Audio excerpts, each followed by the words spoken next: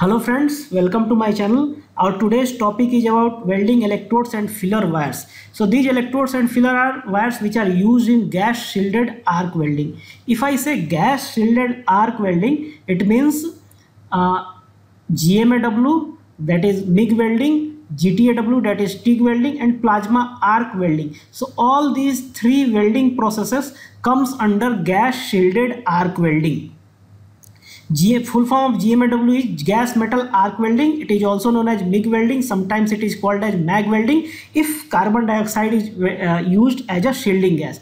And full form of GTAW is gas tungsten arc welding, also called as TIG welding. And PAW is plasma arc welding. So all three welding processes are known as gas shielded arc welding. So today we will talk about the welding electrodes and filler wires which are used in these welding processes.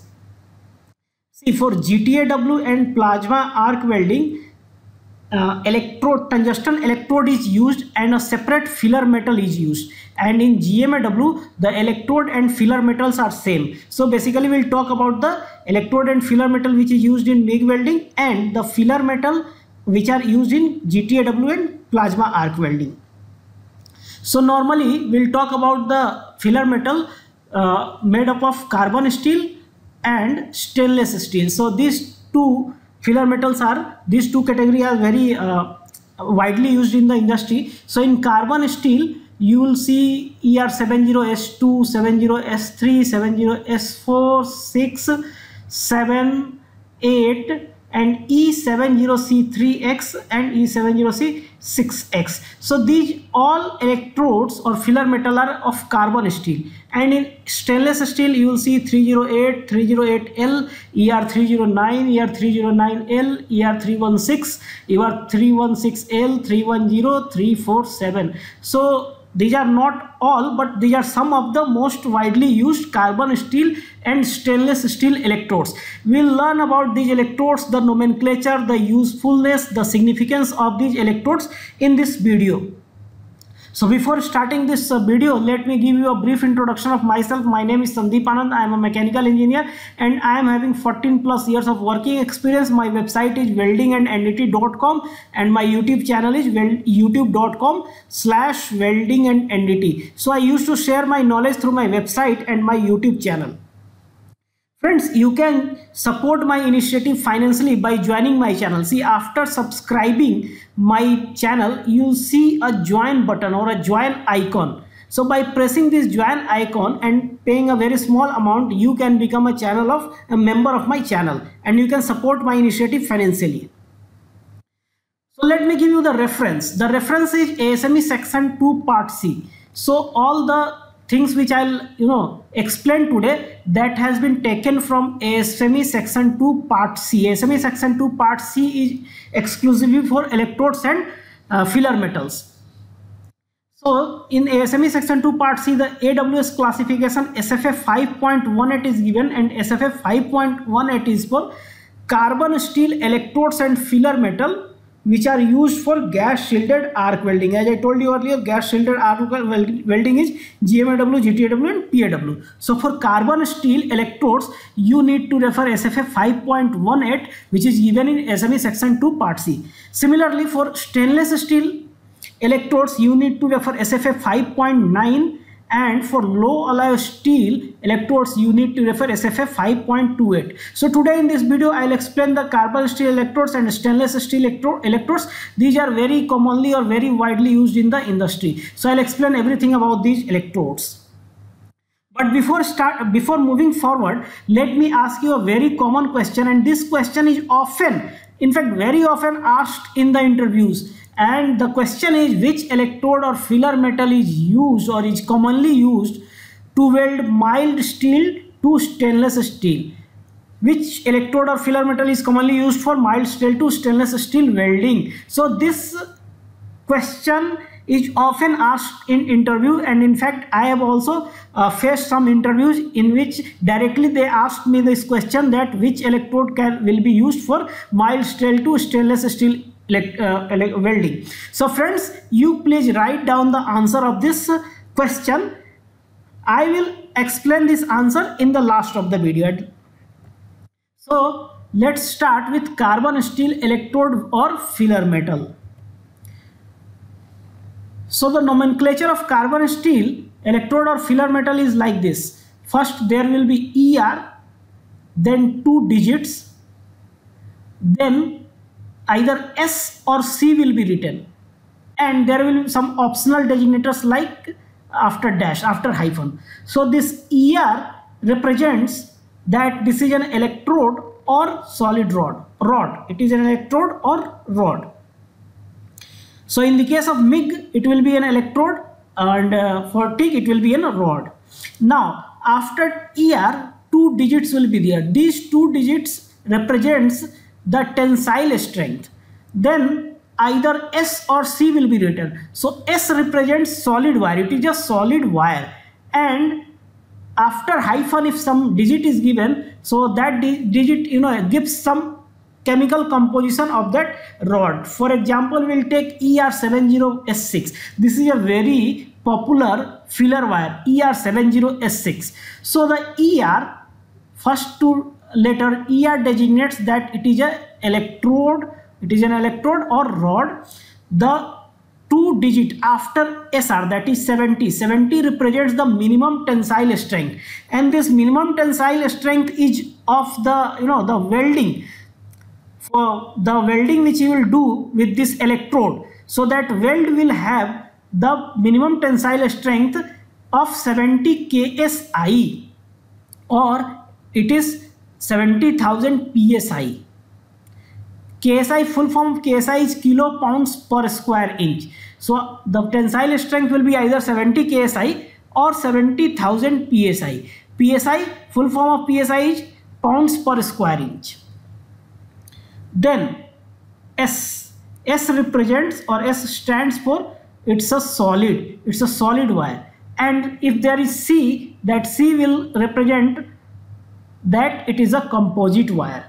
Then finally this optional designator 6. What does it mean? So 6 indicates specific chemical composition. So to be particular, 6 meaning of 6 is that more deoxidizers have been used or added to the wire which is helpful when welding on dirty or rusty steel so er70s6 is very helpful when welding on dirty or rusty steel it will give good results now after nomenclature we will see the popular carbon steel electrodes or filler wire. So i have taken three more most used carbon steel filler metal or electrode. That is ER70S6 I explained you the meaning of ER70S6 then you have ER70S2 then ER70S3 so these are widely used carbon steel electrode. See 70S6 is most widely used filler metal for carbon steel and it offers good strength excellent weldability and suitable for wide range of application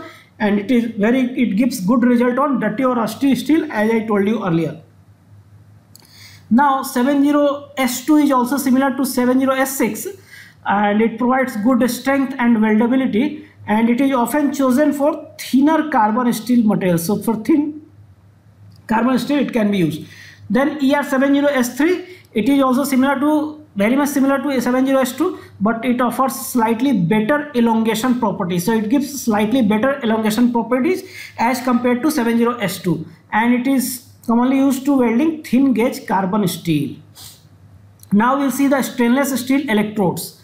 So stainless steel electrodes are you know designated by in a different way. First ER will be there and after ER 3 or 4 digits will be there. So ER as I told you earlier ER represents the it is an electrode or rod. But after ER 3 digits will be there. These 3 digits gives the nominal chemical composition of the stainless steel. Nominal chemical composition of the stainless steel. These three digits will represent the chemical composition of the stainless steel. And some optional designators are also used like E308 after 308 sometimes you will see L. So optional designators are like L H LR etc are used so these are used to show the chem chemical uh, you know symbols like L represents low carbon content, H represents high carbon content, LR represents low residuals. If I say low carbon content, low carbon content means that the carbon content is restricted to the lower range of that series. Like suppose the carbon content is between x percent to y percent. X is the lower range and y is the higher range. Then if there is l in that electrode it shows that the carbon will be restricted to x percent only. And if the if there is h on the electrode it means that the carbon will be restricted to y h uh, y percent only. So we take an example er308l ER represents the, it is an electrode or rod, 308 will represent the nominal com chemical composition. So, to see the chemical composition of 308, you need to go to ASME section 2 part C. In that, they have given the chemical composition of 308. So, 308 basically you can say it is a code which gives the chemical composition. Now, L. L means that is a low carbon content and carbon percentage is restricted to the lower part of the specified range. So if we will talk about 309, the carbon content shall be up to 0.03 percent. Now we'll see the popular stainless steel electrodes or filler metal.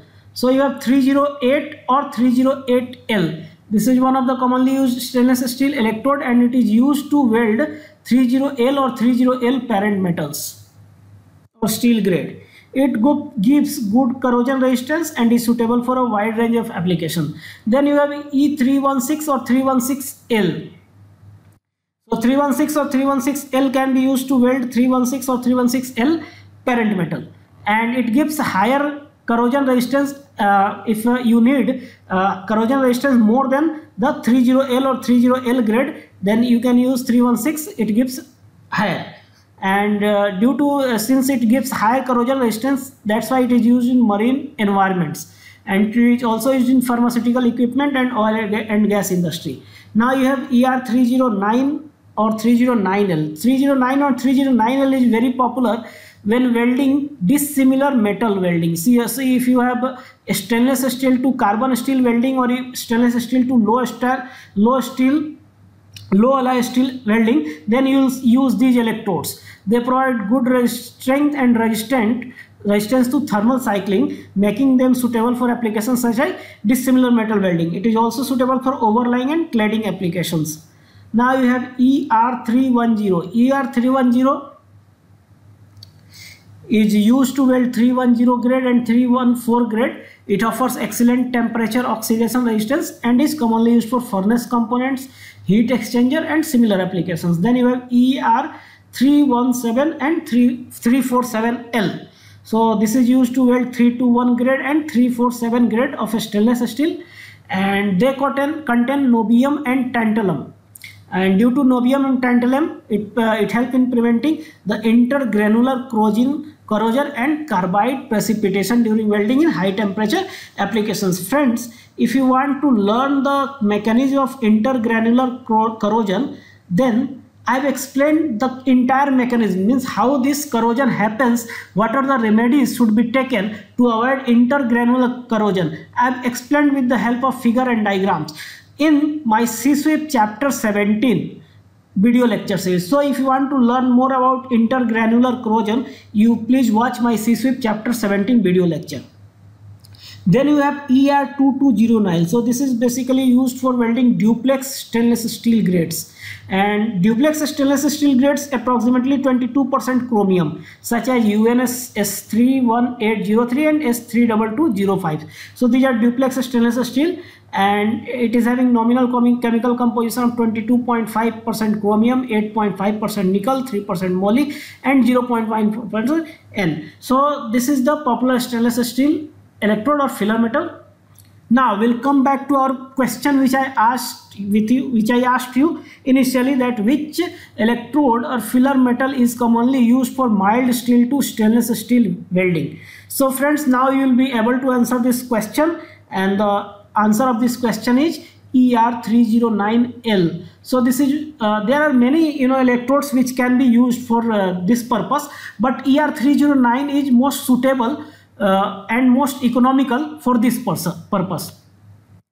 It, uh, and ER309 electrode is an austenitic stainless steel electrode. See if you'll see 3 uh, 309 or any stainless steel grade starting with 3 so if it is starting with 3 then it will be an austenitic stainless steel so the filler metal provides good strength and corrosion resistance making it suitable for joining carbon steel and stainless steel and ER particular ER309L contains 23 to 25 percent chromium 12 to 14 percent nickel.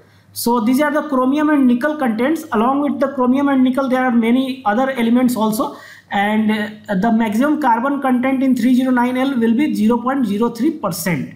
And it uh, due to low carbon you know percentage it helps in prevent the formation of carbides that could lead to intergranular corrosion. So as i told you earlier that if you want to learn the mechanism of intergranular corrosion please watch my CSWIP video lecture series. Now other filler rods which can also be used to weld stainless steel to mild steel are ER316L it, it can be also used. So it has higher chromium content than 309L and you can use 308 also but it is not as corrosion resistant as 309L but it is less expensive.